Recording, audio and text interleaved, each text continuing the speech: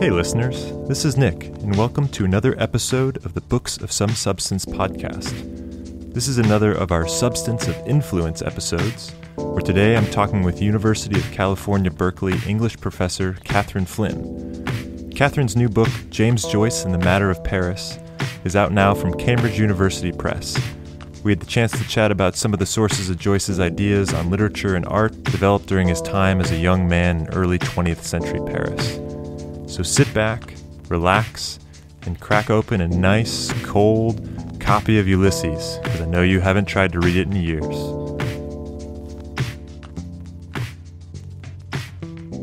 Now, on the matter of Joyce's influences himself, we kind of always think of Joyce as, you know, this this fountain of modernism and kind of one of the main people. But you've written a book that kind of details where a lot of his influences come from. So it kind of fits nicely into kind of the the topics that we like to explore in this podcast. And so, um, early on in the book, you write, Yet Paris forced the young Joyce to embark on a struggle with a question that would motivate all of his subsequent innovations in an environment of sensory stimulation so intense that it overwhelms the intellect. What is art? So maybe an early question is, you know, Joyce's time in Paris as he was a young man. You know, there are lots of shifts happening in the city itself in terms of consumerism, as well as um, Joyce's exposure towards all sorts of art and writing that went on to influence him. Can you help uh, with some of that timeline of Joyce in Paris? Yeah, so um, uh, yeah, those are some great questions. People do, I think, think of Joyce often as this sort of genius who produces these amazingly innovative works, seemingly out of thin air. Like when you combi- compare him to other modernists writing in English, he seems um, really kind of strikingly innovative. They all are very inventive. Modernism is a kind of period where people are just taking everything apart, putting it back together in new ways. But Joyce looks really strange in that context. But if you put him in a French context, in a in a Parisian context, he actually starts to look like he's writing in a milieu. So what I discovered when I was researching this book is that Joyce as a young man was really drawn to French literature. He was interested in Ibsen. You know, people have written about his influences. I mean, Ibsen was a big figure for him you know, he's interested in Shakespeare, like everyone. He, was very, very much a magpie in kind of collecting references and things. But I think that the French context really structured his way of writing or gave him a set of structures that he adapted to address this question of what art can be in the environment of modern capitalism, so in urban modernity. So Joyce, um, before he went to Paris, was already reading a lot of French literature. He translated Verlaine. You know, people commented on copies of Zola just lying around the house, and they were shocked because Zola was a really scandalous novelist at the time. Um, he read very widely in the French, like late 19th century um, tradition. And he went to Paris, I argue here, with the intention of becoming a left bank poet.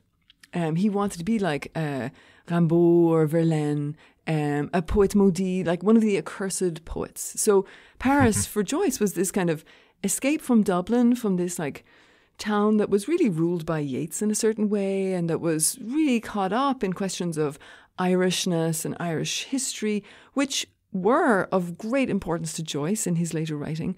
But I think that Paris offered for him this possibility of artistic rebellion and adventure and excitement and glamour. But when he got there, it was um, he was incredibly poor. He had almost no money. He was practically starving, and uh, that was a really sort of vulnerable position in which to encounter the most developed center of commodity capitalism that existed at the time.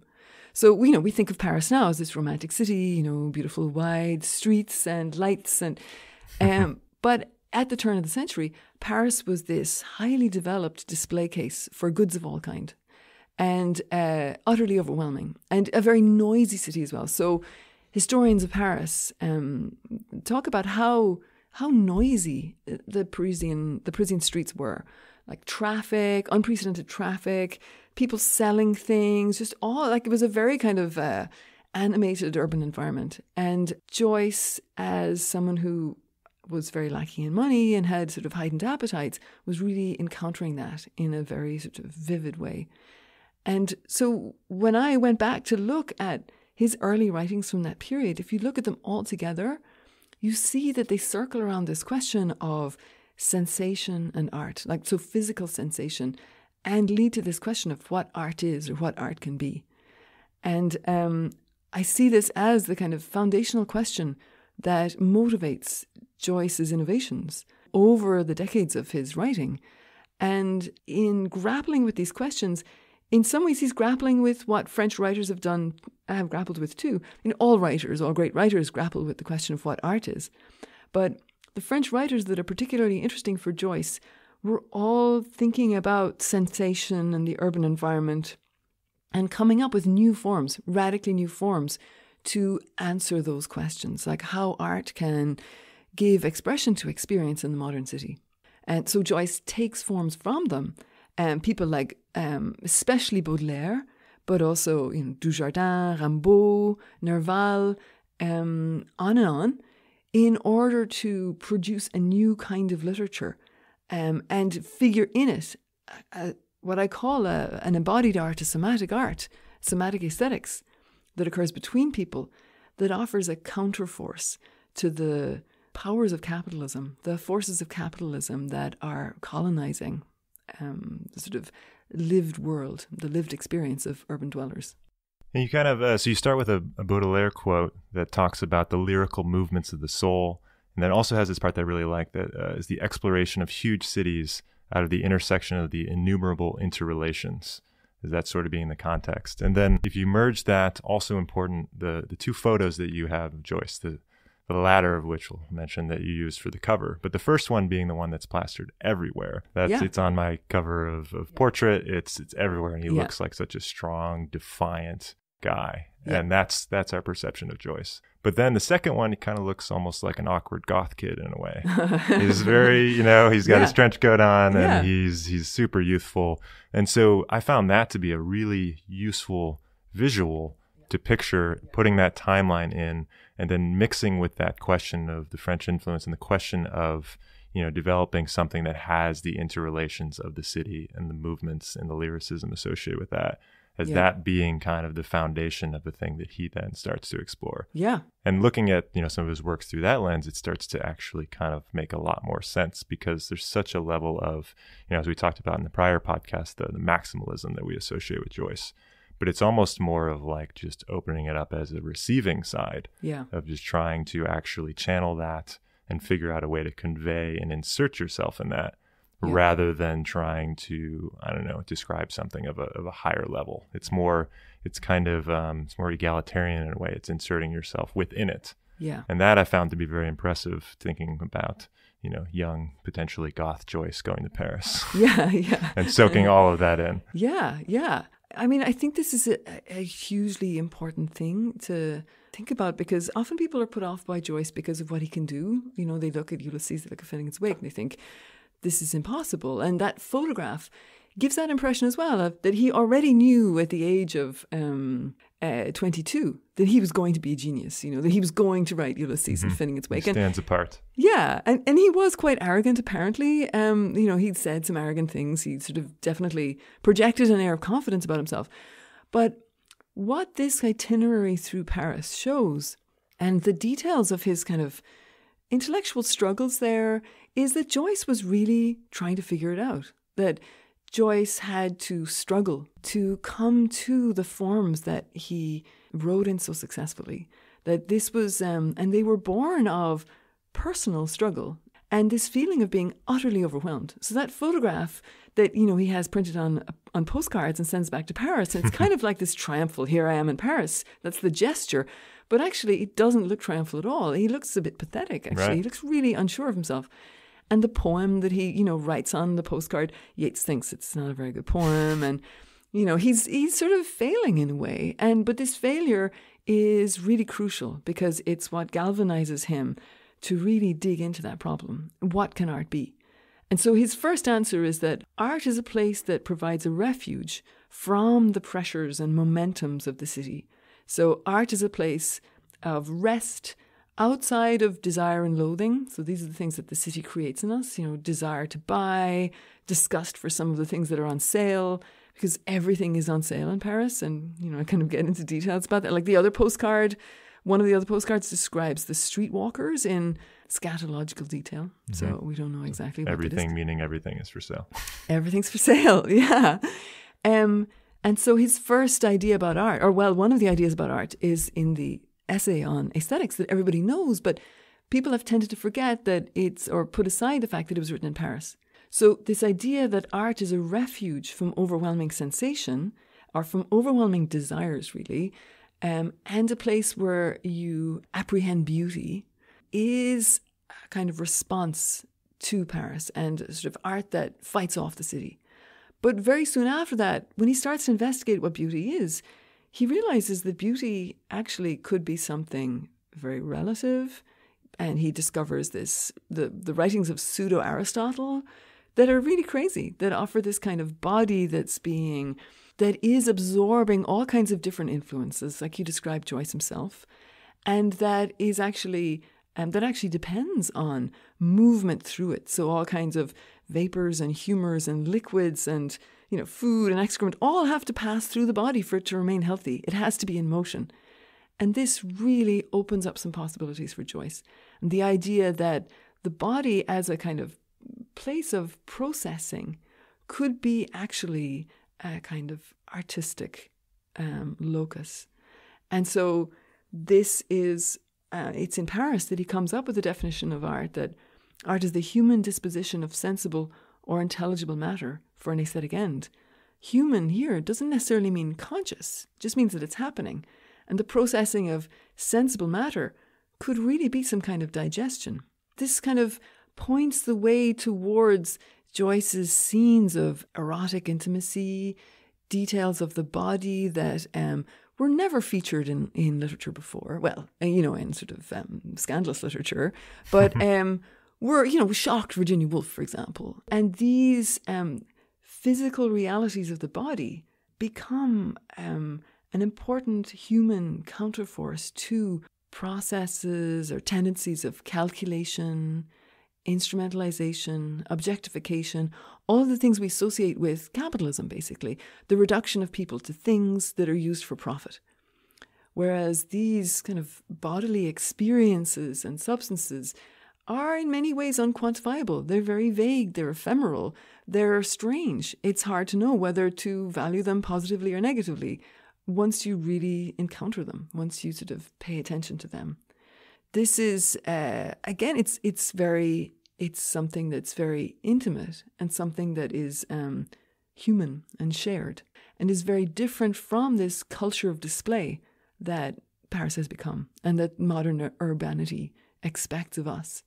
So you talk through, you reference his sort of aesthetic questions of he's investigating while he's in Paris, and a couple of them sort of make more sense than others. You know, Yeah. some ones being can a photograph be a work of art? Yeah. And our our houses, clothes, furnitures, etc., works of art? Yeah. That seems sort of a little bit more of a rational question Exactly, to it's ask. very reasonable. Yeah, But then the other one is this is kind of a key for me, which was um, why are not excrements, children, and lice works of art? yeah, And so um, he eventually decides that they're not works of art.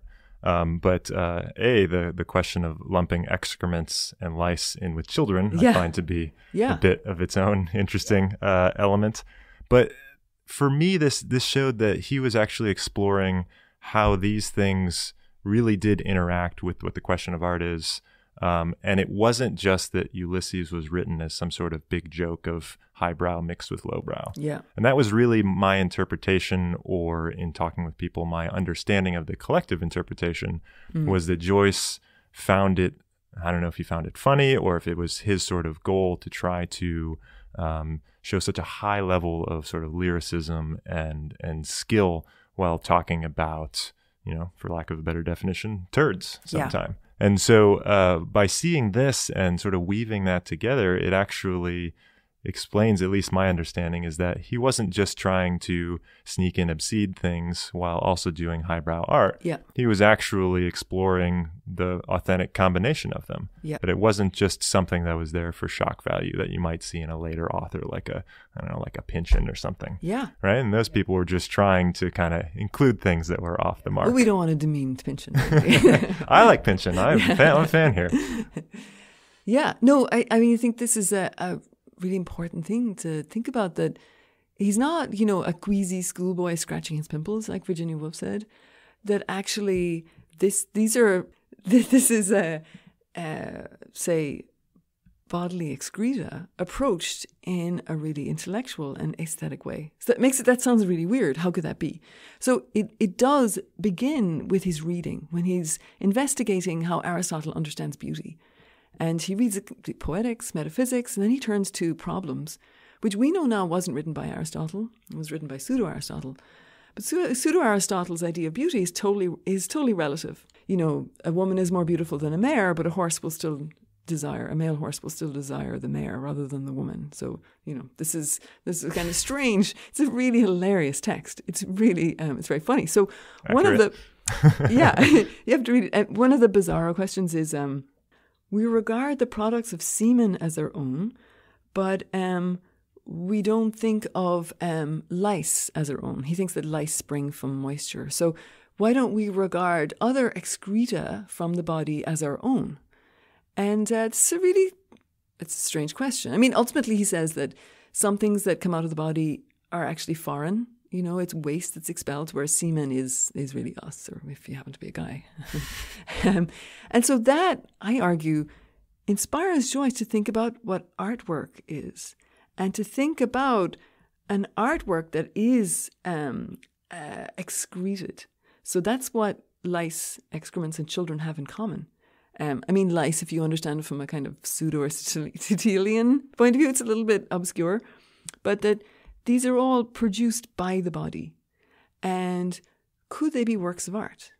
And so he says, you know, very soon afterwards, no, they're not, because they're not consciously made, and you have to consciously make a work of art. And he gets this from Hegel.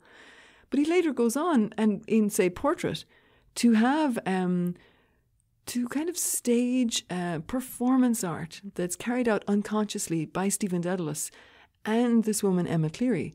So her body distills a dew and an odor. This is obviously unconscious, but it's described in very artistic terms that inspires, the smell inspires Stephen to cry out a line of poetry that he castigates himself later for mangling, but he actually blends it, this line from a John Nash poem, with the Rimbaud poem.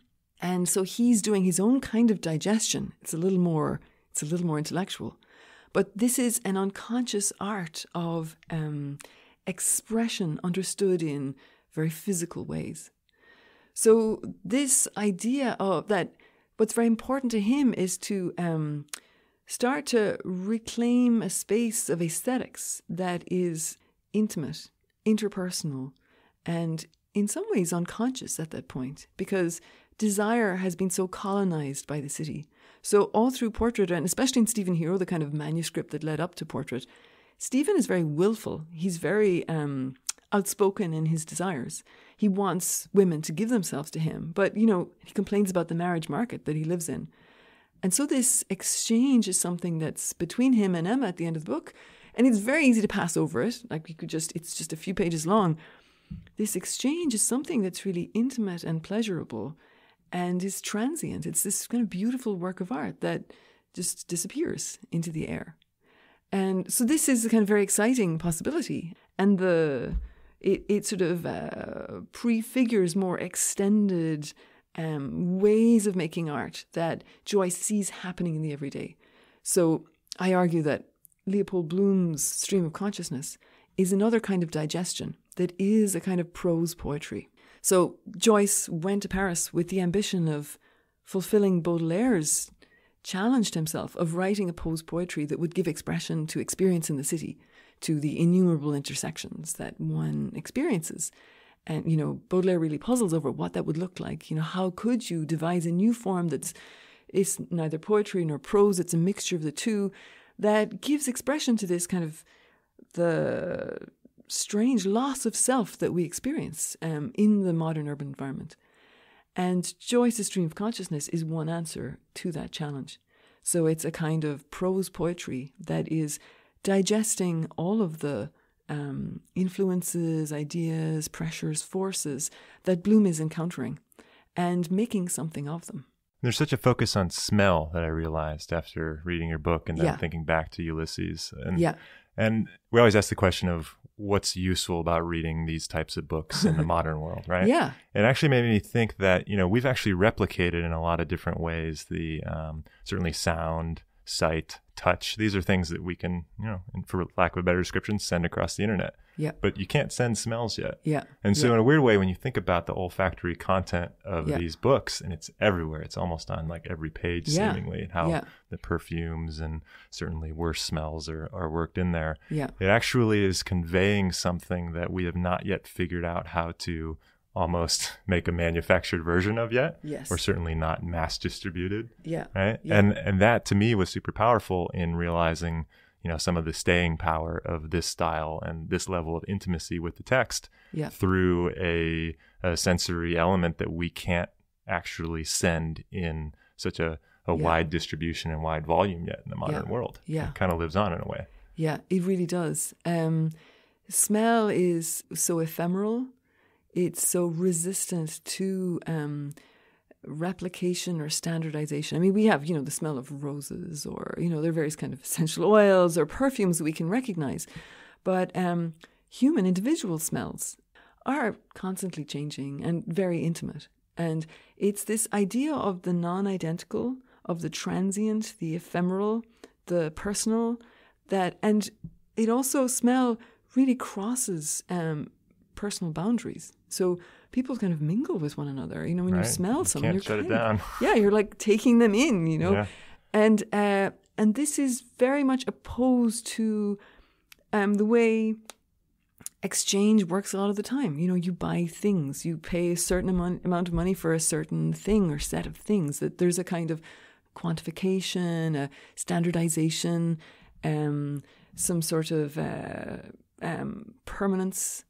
Um, you know, you expect something that you buy like that to to last. Smell, human intimate smells, complicate all of that because of their sort of uh, yeah because of their com- their complexity. And um, I mean, Aristotle writes about smell as one of our poorest senses. He thinks that man man's touch is really excellent, and that's why humans are more intelligent than the other animals. But he says that man smells really badly. And so smell is a very hard way of identifying something, of getting to the substance of something, unlike, say, sight or hearing. And so for theorists of aesthetics like Hegel, smell is completely banned. Smell, taste, and touch are banned because they're contact senses. For Hegel, um, it's all about the intellectual truth embodied in a kind of semblance of physical world. So it's about idea given some kind of form. Whereas smell is a contact sense. It dispels the semblance. It becomes, it's too real. It smashes the kind of the aesthetic. But this is exactly what Joyce is interested in depicting. He's very interested in when people uh, reach over the boundaries of their bodies. So the famous scene of Bloom and Molly on Howth Head with the seed cake, where Molly chews the seed cake and puts it in Bloom's mouth. And this we think is it's like it's gross and romantic exactly. And both of those terms are really important and bound up together because it's not about there's no ownership anymore, the boundaries of the body are, are crossed. It's a kind of kissing, eating, this kind of erotic sharing. And it's really set against this environment in which things are measured and sold and where people are valued. Um, and so this is something that continues right through Joyce's writing, um, developed in different ways um, to different levels of grossness um, and romance, and on into Finnegans Wake, where uh, uh, I'm, I'm hesitating to say it, but you know, where excrescence or excrements become um, a really kind of countercultural force, where they become um, really a central part of a kind of aesthetic project that um, opposes conceptual domination and domination of all kinds. And as you follow Joyce's arc to Finnegans Wake, and we kind of get to that as an endpoint of this aesthetic that he's working on, and we sort of see uh, there's no traditional narrator anymore. It's kind of a collection of voices. It's, uh, I believe you used the term word waste, sort of passing through the text in a way. Uh-huh. And then you also make a point that I find is very, very powerful in that as impossible as it is to get through this text, it's also very popular for groups of people to read Yeah. it, a book club much like ourselves. should Yeah. well, people probably wouldn't come to that book club meeting either. Oh, maybe they would. but well, it'll be a future challenge. But you kind of make the point that um, that this text is sort of needed as sort of a collective type of Mm. uh, interaction or something to pull people together, and that there is no actual one center of meaning. Yeah. That there is really just the experience itself and your interpretation of the experience or someone else's interpretation of the experience. It's all valid, Yeah. and that's kind of an endpoint. Yeah. And also your experience of one another, you know, as you're speaking. So that um you know, you mentioned Baudelaire's idea of the ville énorme, you know, the the city, the huge city, the city without um without norms in a way. Um and the innumerable intersections. So you can see Finnegans Wake as that a place in which there are innumerable interrelations, um, and the words are extremely suggestive. You know, they resist straightforward meaning because they give so much meaning. They offer so much. So you really need a group of people to start unlocking those meanings and to read words in different ways at the same time. Um, you know, some people can get kind of bossy and insist on a reading, but it's very clear that what they're doing, you know, that this is um, that they're refusing to see the richness of the text. And so this kind of interpersonal relation around reading um, becomes, I think, the kind of aesthetic project. It's part of the aesthetic project that Joyce had in mind. That he's not just writing the book, he's trying to trigger a kind of exchange. I mean, he never said anything like this. He did say that everyone's writing the book at one point. He said that waitress there and this person over here, you know, has he collected so many scraps, sort of verbal scraps, and overlaid them, sewed them together, you know, mixed them around. But I think that um, he also wants to think that uh, I feel that if you follow the trajectory of his work, um, this aesthetic project continues into the realm of the reader with Finnegans Wake. And that the way, um, I mean, I'm sure you know this from your reading group, that a lot of the conversation is about nonverbal um, gesture, attitude, um, mood. And this all becomes part of the intellectual experience. Mm-hmm. And it becomes an aesthetic experience. This is why reading groups are so much fun. Um, it's really all involving. And uh, this is something that we especially need now, you know, in a culture where we're just being trained to consume, you know, just passively receive something. Right. And the best works of literature always leave room for the reader and the interpretation. There's always that Yeah. space. If Yeah. you're too specific, it actually becomes quite boring. Well, that is very true. Yeah, that is very true. So thank you very much for uh, stopping by and uh, helping me to uh, extract some of this from Joyce's works. This was a lot of fun. Thanks so much, Nick. It was great to be here. And if we later embark on reading Finnegans Wake, I'll maybe blame you for putting that task upon us. Thank you.